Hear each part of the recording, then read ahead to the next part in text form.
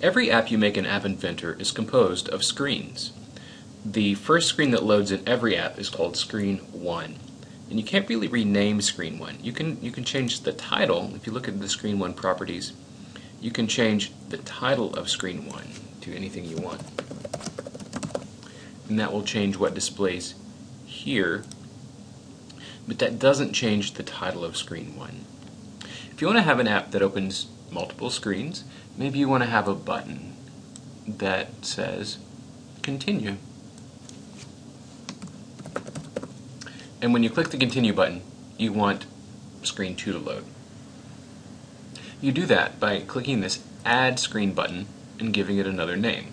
Now, Screen 1, Screen 2, Screen 3 are not very descriptive names for your screens. You might say Screen Detail or Screen whatever whatever the screen is for, give it a, a, reasonable name. So I've called mine screen detail. Notice that I've capitalized the S and the D.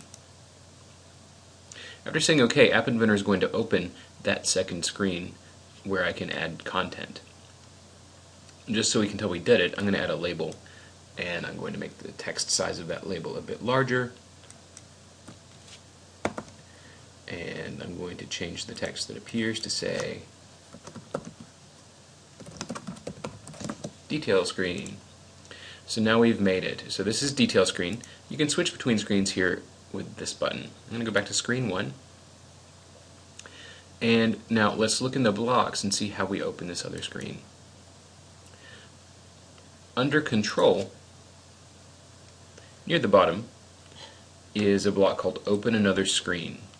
And it wants to know the name of the screen, which is text. We named that other screen screen detail.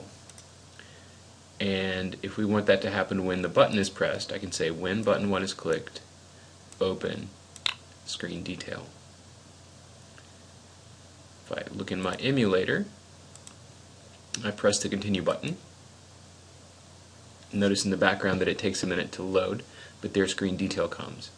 So that's how you do multiple screens in App Inventor.